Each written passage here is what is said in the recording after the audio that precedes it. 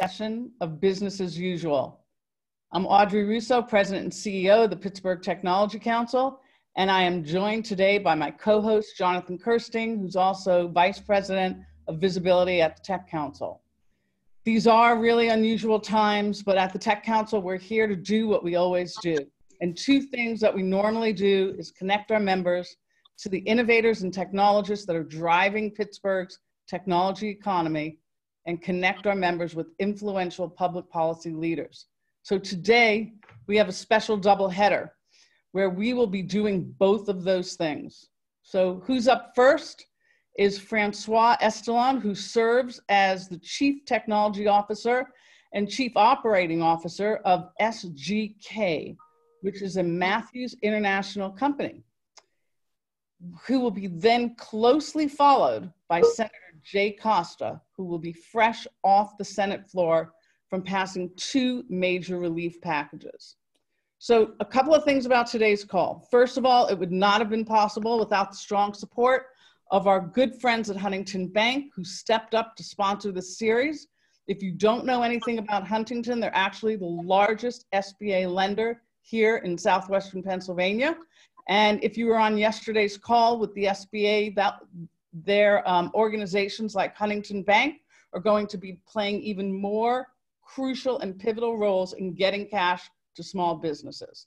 And I also want to thank the team at AT&T for sponsoring our ongoing public policy series. They have been a long-standing partner of ours, and I particularly want to commend their team for their company's recent $10 million donation to help give parents, students, and teachers the tools they will need for an at-home learning environment.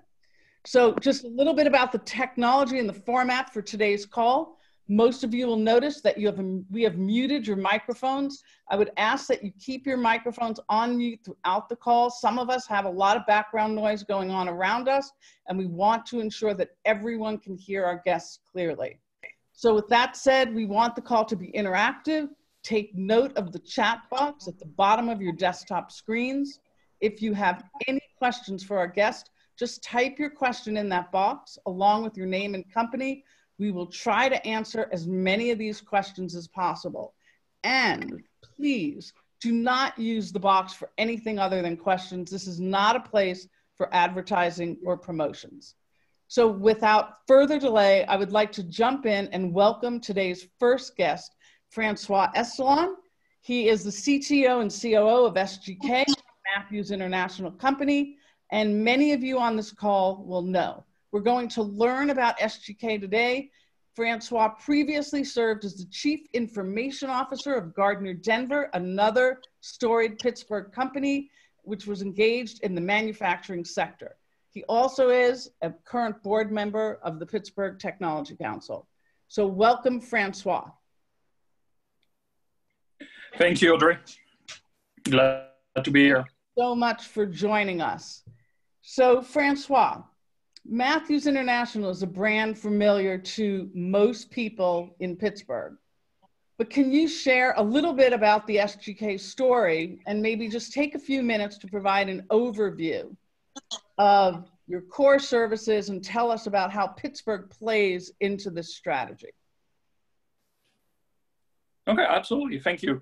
So um, SGK is is a division of Matthews, as you you mentioned before. Um, we are roughly around six thousand employees worldwide, uh, and revenue in excess of uh, eight hundred million dollars uh, globally. And and what we do, uh, we activate brands. So we we create and deliver brand content globally and at scale uh, for the world largest and, and most recognized brands in uh, food and beverage, in, in, consumer goods, retail, electronics, uh, pharmaceuticals. You, you take uh, any Fortune 50 in, in those verticals and, and we do some work for them uh, globally. We are in over 60 countries, uh, delivering brand in over 120 countries, um, over 40 locations around the world. But Pittsburgh is our headquarters.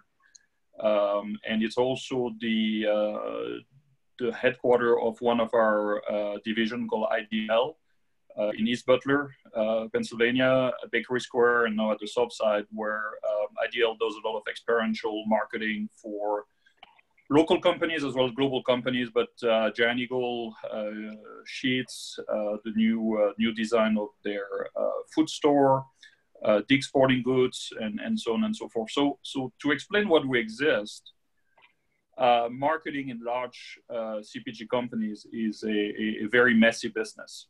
Uh, it's very siloed. You have brand, you have marketing channels, uh, you know, retail store, uh, online presence, uh, social media. also, if you're a large brand, you're, you're usually in, in multiple regions, multiple countries, languages. And so a, a single large uh, consumer product good companies may have thousands and thousands of ad agencies, uh, uh, employees, and uh, many stakeholders from, from printers to, uh, to online presence. And so everything is really messy. And so what we do at scale is we're, we're, we're taking all this mess and, and basically organizing it uh, for our, our, customers and, and delivering their, their, their brand content uh, from the shelf in the store to to to the e-commerce in, in, a, in a very seamless way and, and, and creating consistency across the brand uh, around the world. Uh, so our services, uh, we do creation, uh, consultancy creation, we create content for online presence, we create packaging design, uh, and, and, customer experience, and, and we deliver those services, you know, either digitally through, through files, but also we manufacture the tooling required to go and print some of those uh, those artifacts, marketing artifacts. So we we deliver plates and cylinder for the for the printing industry. Um, so that's that's a very high level what we do as, a, as an organization. So that that's great. Appreciate you sort of setting the table for us to understand. Recently, though, you felt the impact early on of COVID nineteen, and particularly because of your global nature and also because of the cancellation of many events. So we're looking to hear about about that. What can you share about how that has affected Matthews and SGK? No, absolutely. So, so you have to think that we're we're a people-based business. Uh, our supply chain is is our six thousand employees and few hundreds of contractors and and and, and suppliers of, of people around the world. And when people get sick, when people are quarantined, uh, our supply chain is, is obviously very, very distressed. Uh, for us, it started back in China.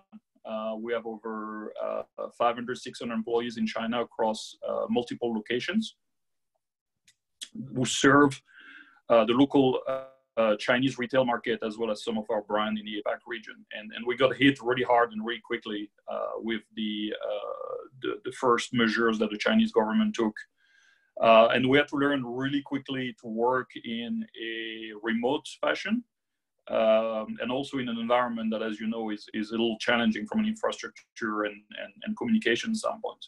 Uh, so we had to learn really quickly. Uh, we had to close really fast, very limited notice from, from the local governments, and still serve our clients.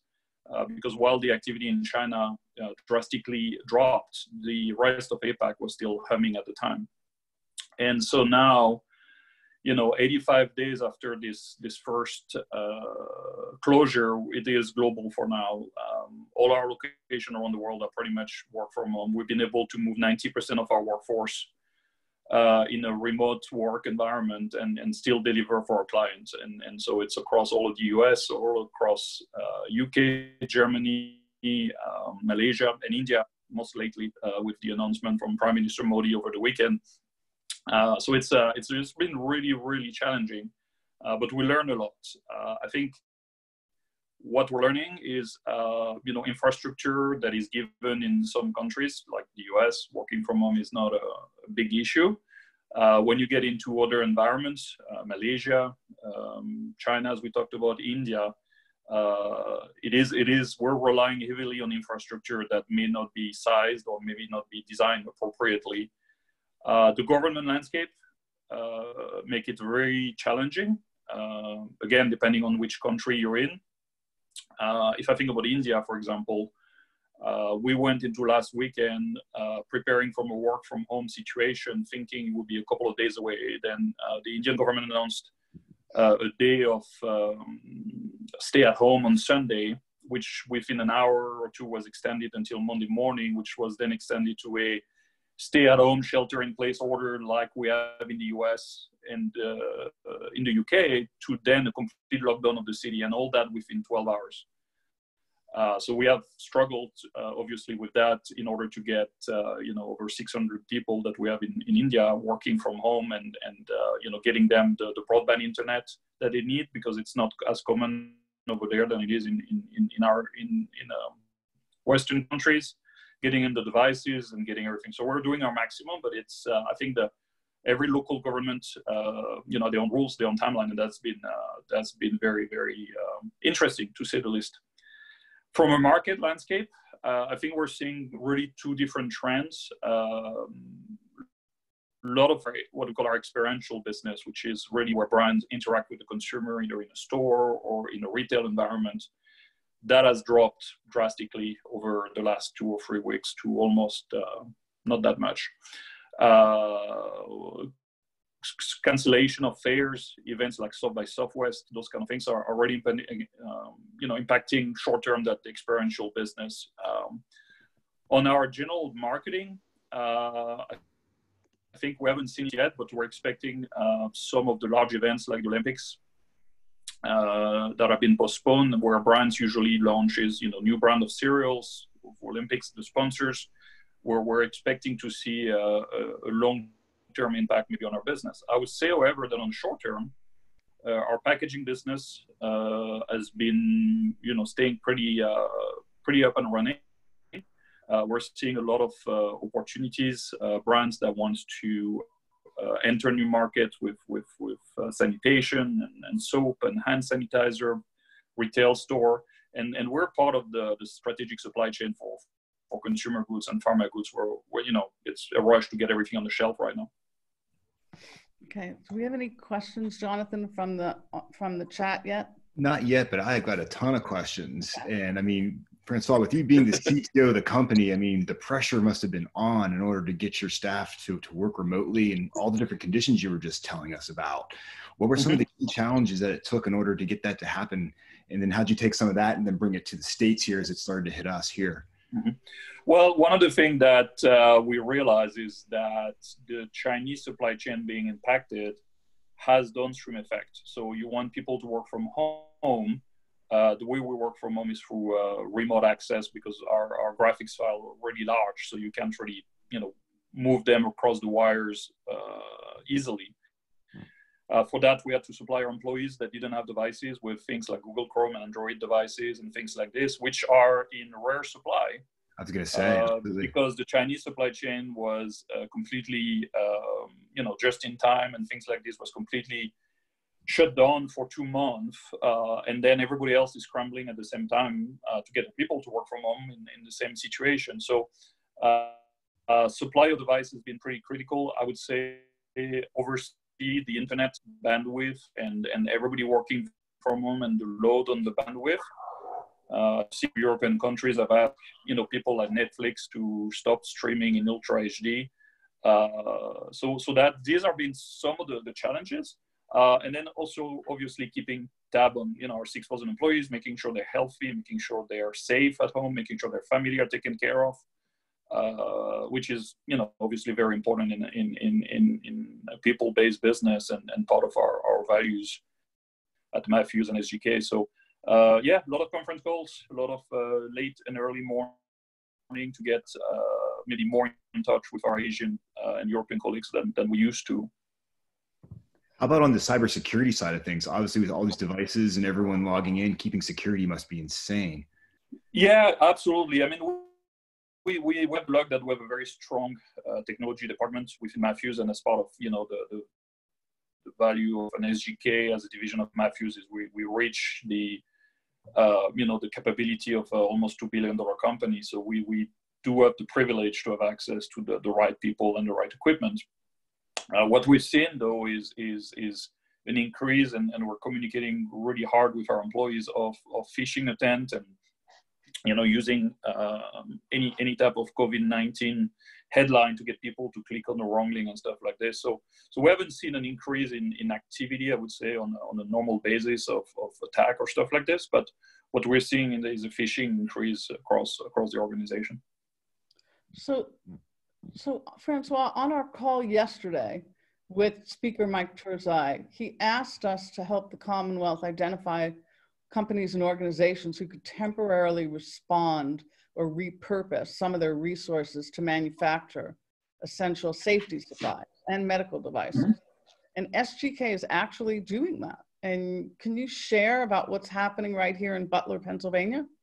Yeah, absolutely. So uh, yes, our, our Butler facility uh, is where our experiential uh, business is is is, uh, is coming out. So so we have a, a lot of very talented uh, fabricators uh, and, and tools and, and, and space to manufacture. So, so we, we will build, you know, store displays, we'll build, um, you know, complete pop-up store for, for, for, for some of the events. So we, we have the capabilities and the capacity. So we've already partnered with a, a uh, plastic distributor and in combination of their design and our design, we are ramping up manufacturing of uh, face shields uh, we believe that within a couple of days we can we can output around 75,000 face shields a day uh, to deliver to the to the healthcare community and, and the first line responders. Uh, we're also looking at producing uh, other applications for our retail customers, like uh, like shielding uh, for for cashiers and what you're starting to see on the news. we're looking at also manufacturing things like stickers uh, to put in retail store to maintain the safe six feet distance between between people when queuing. Uh, so we're, we're ramping up. So so basically, what happened is we over the last ten days, there's been a big pivot in that team. Is first as a non-essential business following the uh, the, the, direction of of uh, Governor Wolf, uh, we were planning to close our, our, our facility, and then we started to think, oh, we can help the community. Uh, or we can keep our employee uh, working uh, in, in safe conditions. So we have implemented a lot of health and safety protective equipment and cleaning of the facility.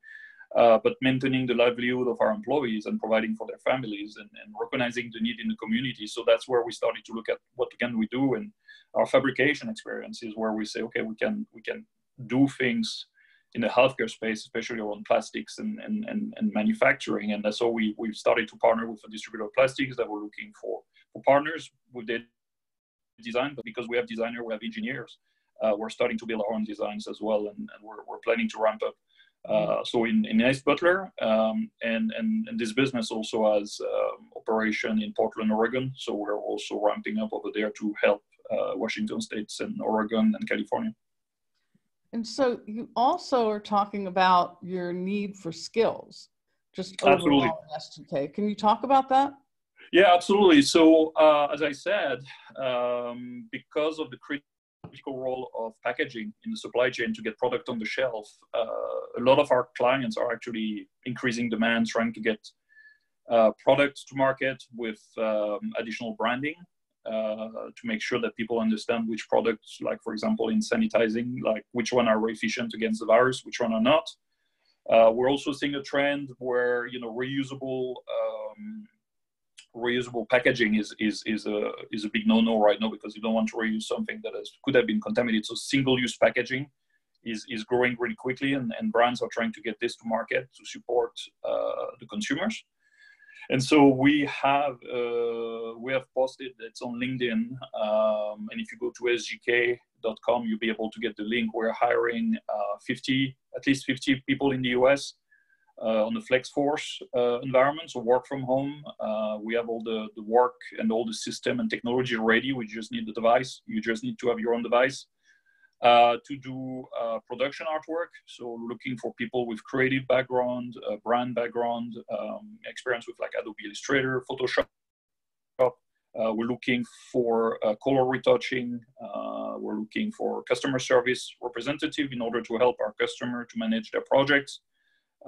Quality check in the graphic and digital space. So I encourage anybody who is looking for work right now and it's a flex force, so it's based on projects. It's it's make your own time. Uh, so uh, yep, look on LinkedIn, um, on SGK. Look at my profile; it's linked there as well, and feel free to apply.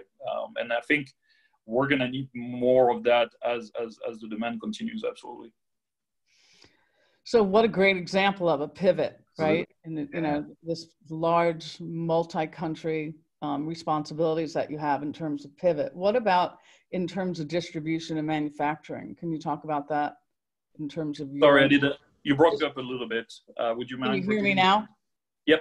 Okay. In terms of uh, looking for help in distribution, are you looking for help in in that area as well? Uh, not too much. Our, our main thing right now is the only people that are working uh, in an office for us right now is uh, our printing and plate business, uh, which is under the CISA uh, classification, is, a, is, an, is an essential critical infrastructure uh, because without the plates, you can print the package. Without the package, you can put product on the shelf. so there we were, we've been working, you know, uh, decreasing the number of shift uh, people per shift. We've been cleaning up machines uh, and trying to, to, to make uh, as safer as an environment as possible for our employees. Mm-hmm.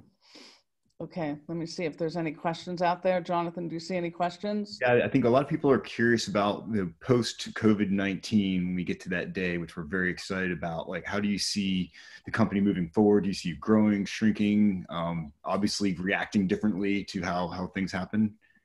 Absolutely, and, and and we're starting to see some um, you know some trends in our, our client demand, even you know with two months of experience from coming from Asia to Europe to the US. Um, the the adoption of e-commerce uh, you know is, is is huge. I mean, we, we we know e-commerce was big. It's been a big part of a transition of our business where we're getting more and more demand for services like photography to be able to put product in right lights on, on, on the website. Uh, CGI and 3D renders of products, uh, again, for, for online presence, for social, for, uh, for, for, different e-commerce platform. And, and I think with the isolation and the quarantine, uh, we're likely to see, uh, you know, an exponential growth in where people, uh, or people shop. So people that were resisting the, the e-commerce for for many reasons uh, or, or not not interested no don't have a choice and, and so i think we're, we're going to see a, trend of, of additional e-commerce pattern uh, in the future and i think it's going to be really difficult to come back to before know that you know for period of extended period of time most likely uh, people will be uh, will be shopping online um, I think we're seeing two other trends. Uh, one of them is, is strategic prioritization on brands. Uh, you know, the, the, the, the, some of the brands we're talking to are, are already looking at their portfolio of, of products and, and making sure that they're focusing on the right thing on the short term. And then there is a something that we, we don't know in the long term, but it's, it's, it's what I was talking about earlier is, is that sustainability impact. You know, over the last two or three years, we've seen a lot of consumer behavior going to you know, eco-friendly packaging, uh, multi-use packaging. Uh, you know, Starbucks giving you a cup, and you know, you refill it, so you don't have to to waste, uh, you know, paper cups. And then suddenly we're going completely in the opposite direction with right. single-use packaging. And so this is going to be interesting. Uh, you know, we already have New York State as as uh, as part of their crisis has completely suspended their sustainability initiatives and, and regulations and a lot of chains like Starbucks and Whole Food have halted single-use cups. So, so is that going to land after the, the crisis is, is yet to be seen. Uh, but you know, I mean, sustainability and environmental concerns are long-term challenges as well, and, and we need to make sure that um, we find the right balance between the short-term risk that we have today and, and, and the long-term uh, sustainability impact to the planet. It's crazy stuff all the way around. So we might be back to plastic bags at grocery stores again. Mm, exactly. Yeah, it's insane. So many governments have ordered non-essential businesses to shut down. And you have been somewhat impacted, but not completely impacted. Um, looking to hear a little bit about SGK as an essential part of the supply chain, particularly yeah. mentioned with the packaging industry. Yeah, absolutely. So, so we, as interestingly enough, as as we, every, especially in the states, uh, as the different governors and and local jurisdiction were taking, uh, you know, shelter in place and essential business initiative. Uh, we received dozens of letters from our clients, um, you know, justifying our existence as a company uh, and opening the business as, as a critical supplier to them. Um, if you think about it, if you don't have packaging, if you can't print a package, you can't put product on the shelf. Um, you know, some, especially in, in areas that are highly regulated, like pharma, uh, you know, some food and beverage, um, you know, you, you, can't just put products. It's, it's it's not possible. So so that's why um, a lot of the work we're doing is considered essential infrastructure. Uh, because if I can't deliver a plate to a printer, we can't make packaging and we can't have product on the shelf. Right. So it's been remarkable. It's remarkable what you're doing. I know you're running around the clock. So I just want to make sure that we recap that you actually really are hiring right now. And yes, we are. And that hiring actually is facilitated through work from home. And you've been yes. able to, to master that. So did you, um, someone's asking if you actually applied for a waiver to, do you know anything about those waivers? To operate Sorry, I didn't hear the as an essential business?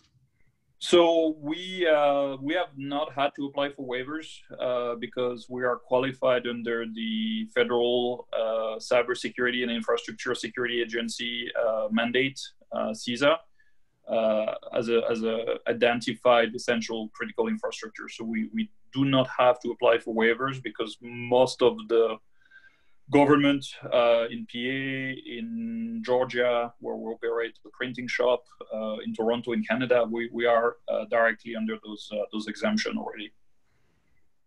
So, any we also had a question here about any strategies or tactics that you'd be willing to share in terms of um, addressing stress on the job, working from home, and all these mm-hmm. changes mm-hmm. and the remarkable pivot that you've done. I would say personally praise your kids' teachers. they have a lot of patience, and you don't realize that you're, you're, stuck since ten days uh, with a nine and an eleven year old uh, climbing up the walls right now. Uh, no, I mean, um, I, I, think uh, yes, we have to think, especially in a people-based business like us, we have to think of our employees. Uh, communication, uh, you know, over communicating uh, clarity and, and transparency is huge. Um, we have uh, you know different different of different teams in our group that have, have experience on different things.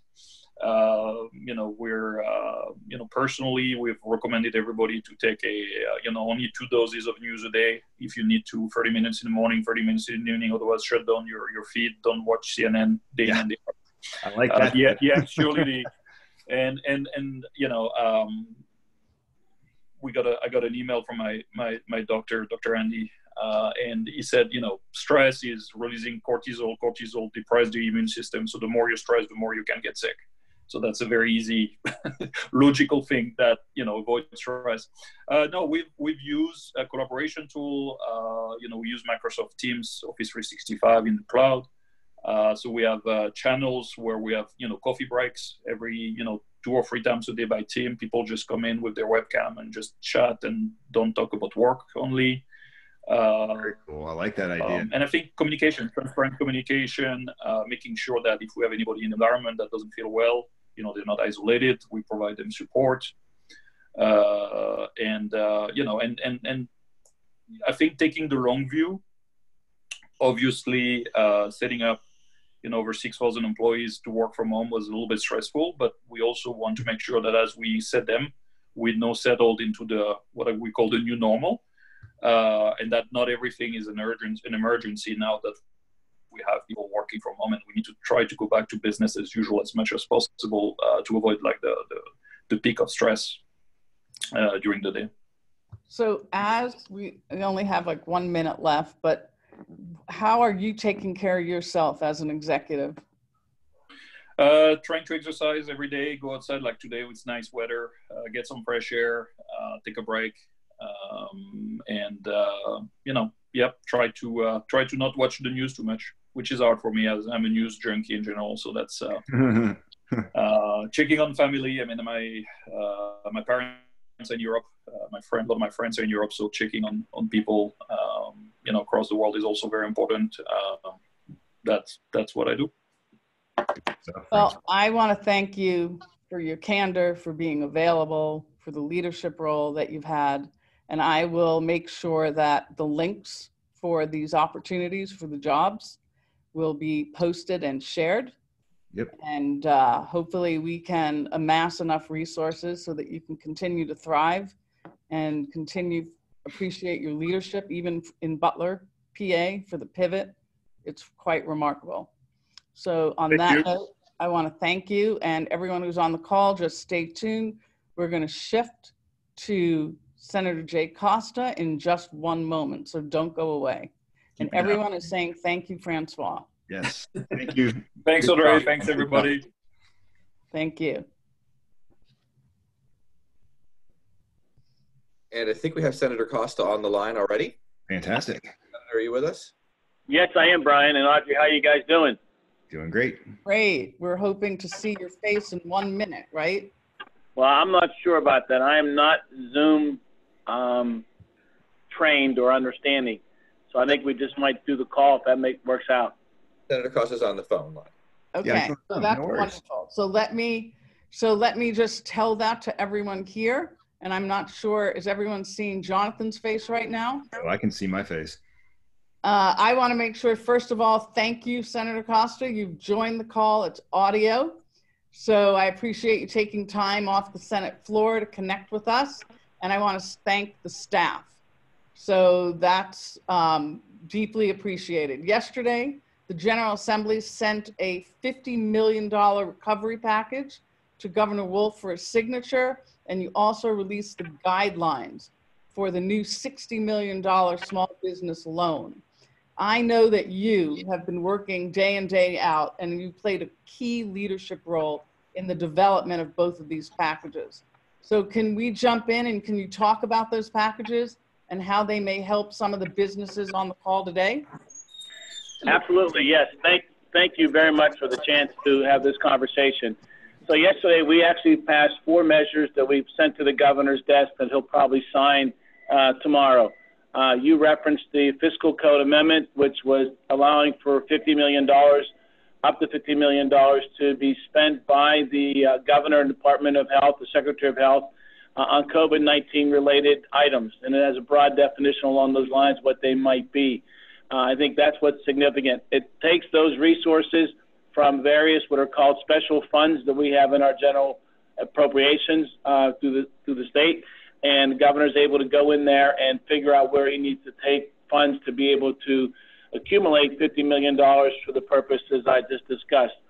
So we expect that that will be um, signed by the governor tomorrow. The other things that we did related to doing work on the um, uh, certainly moving the election was one of the big issues that we had to address dealing with that, the primary election timeline.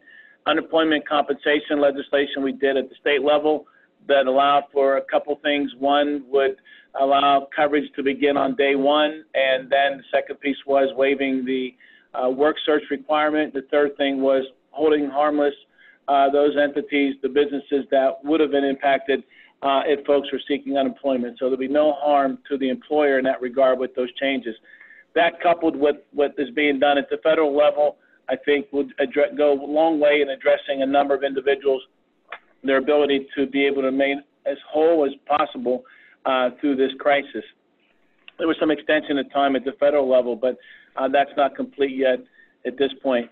Uh, the other last piece we did that related to our school code to making sure that we followed up on the things that the governor had already said that we would be doing in the Commonwealth. That would be uh, not requiring a full and complete 180 days for our schools to conduct class. Uh, the hours of training or, or hours of instruction was modified, uh, the Secretary of Education the ability to waive other mandates at the district levels that um, the virus would have caused changes to or necessitated changes. Similarly, by the way, uh, and the same thing with Secretary of Labor and Industry to be able to incorporate and waive other mandates for employers and the like uh, as it relates to what comes from the federal government, though. So those are the four things we did. Before that, we made changes to the uh, through this Commonwealth Financing Authority. We pulled money from uh, different programs and we've moved it over to the PIDA program, and it's going to allow them to able to make um, make those loans up to $100,000 uh, for um, and, and making them low interest or zero interest loans along uh, those lines for a period of time. uh, that's those are the things that were done. The CFA authorized that. DCED sent out the regulations. I think, or their applications, I should say, are now live as of yesterday morning, and that's where things are at right now. So one of the questions, Senator, is that the um, what's available for nonprofits? Any any capability to talk about that?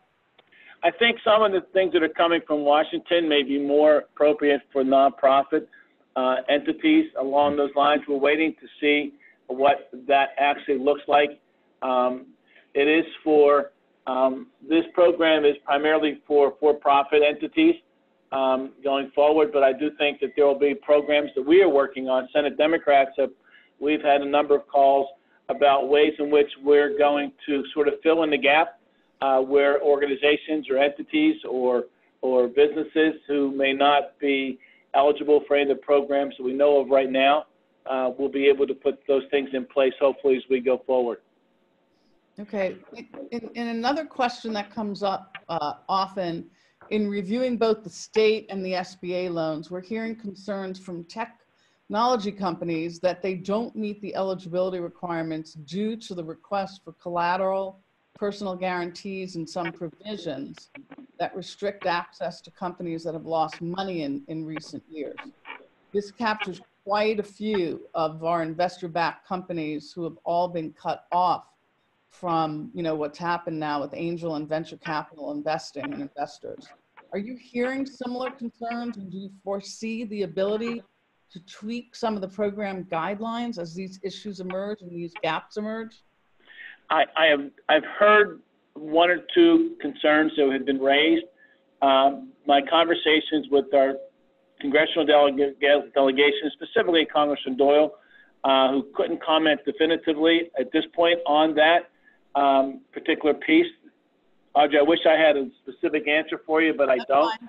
That's fine. I'm Um, just trying to not put you on the spot. I know that you're working hard and you're doing, you know, um, amazing work. I just want you to hear some of the things that people are asking. No, and I, and I think that, I mean, I believe that these, as I understand the passage of the other, at least two versions that have come forward and, and this more recent one coming, I think that is intended to be as flexible as possible. I know at the state level, we are authorizing our folks, our secretaries, to have the ability to delegate to them the authority to be flexible and make decisions without having to come back nor the through the normal uh, regulatory uh, process changes that take place to the bureaucracy, so to speak. Um, so we think that that's going to be helpful along those lines.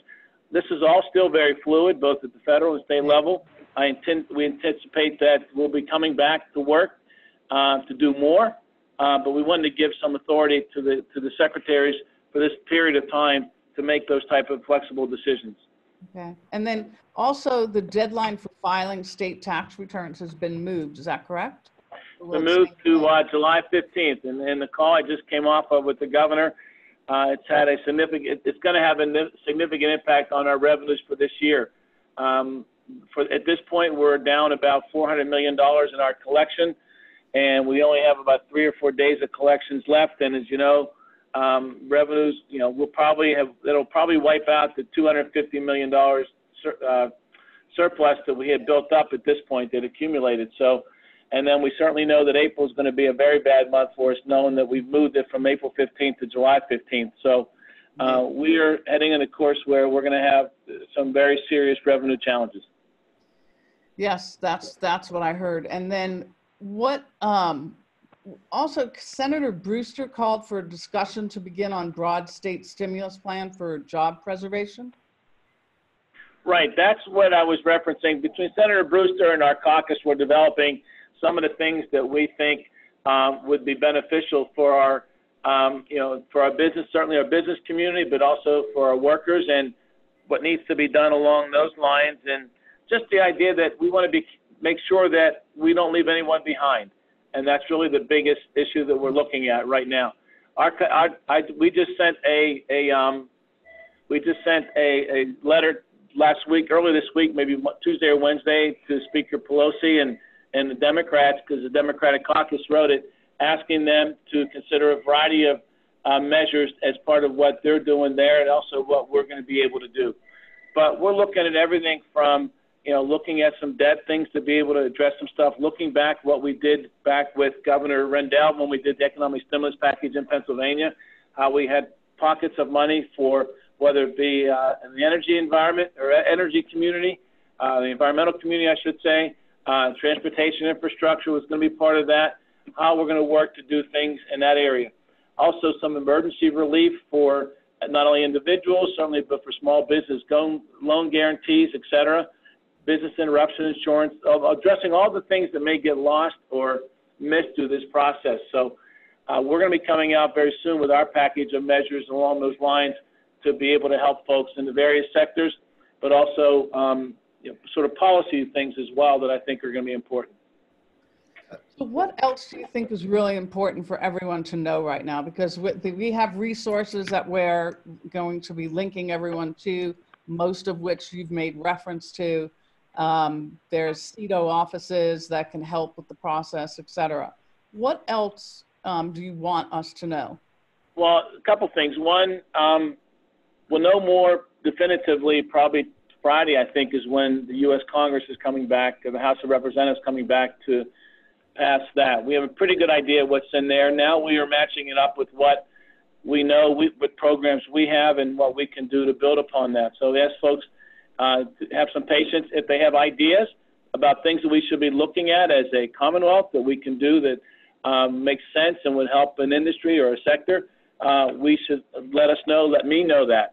Uh, what I've offered to folks uh, today, I sent out a you know, message to folks, uh, small businesses, if they have any interest or need some help navigating through um, this uh, this time, particularly through the uh, through PIDA and DCED, that they can contact us. I've assigned uh, Martell Covington from my staff to be a point of contact for folks to help walk them through the application process or, or walk them any, through any other type of programming needs that they would have.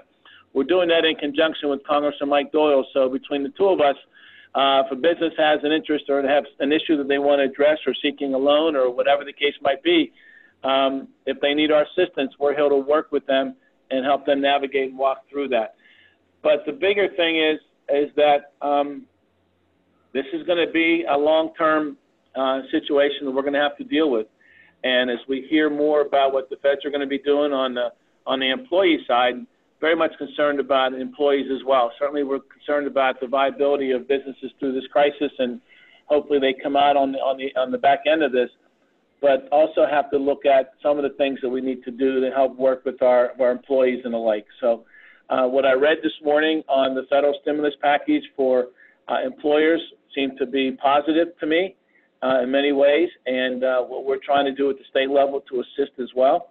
And I think that's what we we need to address. Whatever we can do to keep our employees paid and working to maintain, um, on, so when we come out of this, they're still there, ready to go to work, as well as helping in other ways. That's what we need to do. But Audrey, I'm happy to hear from folks about ideas they might have that we could do things, and be happy to entertain those and bring them to to the front office and to our leadership in Harrisburg. Well, that's that's excellent. I think uh, one last thing, Senator, in the world that we we are very lucky to represent, but right now there are many companies who have a life of you know less than a year, 18 months, and they've been venture backed. So there's some questioning about their eligibility in, in terms of these incentives and the stimulus has, has been released. Do you have any sense of that, or is that something that should be directed to DCG and other offices? I, I think, in, well, as it relates to the state, I will investigate that, and I will certainly weigh in. And I believe we gave the DCED secretary some some latitude to to do some things. And I'll double back with that. I had a conversation with Secretary Davin this morning on on this waiver conversation. Uh, that's been pretty crazy.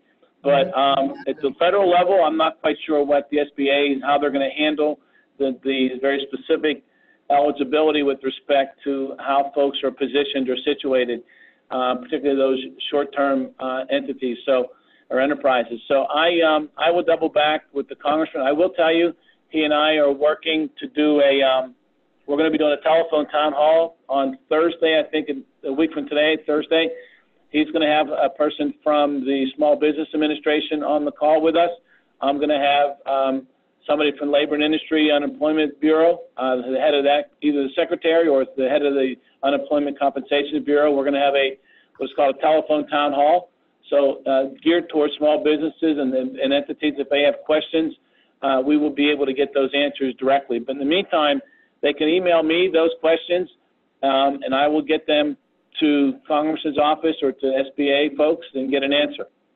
Okay, that's excellent. And we'll make sure everyone knows how to reach out to you. So many businesses in manufacturing are in the gray area for the shutdown, like contract manufacturers, but they're key suppliers to essential companies. Um, what what about them? Can they should they be applying for a waiver? Uh, if they are, yes, I think if they are part of the supply chain as it relates to an essential operation that has been permitted to operate, then I believe that they a would be eligible, and b uh, they should certainly seek a waiver and really make a strong case that how they fit into the supply chain vis-a-vis the COVID-19 uh, virus situation. So yes, I think they should apply and um, and go from there. I do think that um, if they're in the supply chain, they can make a legitimate argument that they're there uh, and demonstrate that. I think that they would be fine and they should be okay, but they should apply. Okay. So in in wrap up and summation, contact your office directly, open Yeah. ideas, take advantage and submit for all waivers, reach out to the CEDO offices, come up with uh, any kind of recommendations that would be helpful to you. Stay tuned for your opening, for your meeting that you're holding next week. Is there Right. anything else, Senator? No, just feel free to give me a holler or Audrey, work through you, and then you can reach out to me and assemble a bunch of different ideas if you want, or even issues. But uh, take advantage of our opportunity for us to work with you to help navigate through through this bureaucracy, both at the state and federal level. Yeah, you are um, doing amazing work. We appreciate your leadership, if we haven't said that enough. Uh, Thank thank you you, for kind of you. The time with us. Yep. And appreciate your openness, as always. And what I want to tell everyone who's on the call, that again, I just want to give thanks to Huntington Bank and to AT&T for supporting us, and that tomorrow, we will be hosting the Chief of Staff to Mayor Bill Peduto, Dan Gilman, and then we're going to go in overtime with the second guest with the state's release of the guidelines for the $60 million small business loan funds because people have lots of questions. And we're going to go live with the team from RIDC, which is one of the organizations processing the applications in the new program. I know it's going to be informative. So we are definitely looking at all this and working on your behalf round the clock. I can't thank all of you enough for tuning in and give us feedback as well. We are here working on all of your behalf. So thank you and until tomorrow at noon. Thank Stuff, you, Pat. Audrey. Appreciate it. Thank you.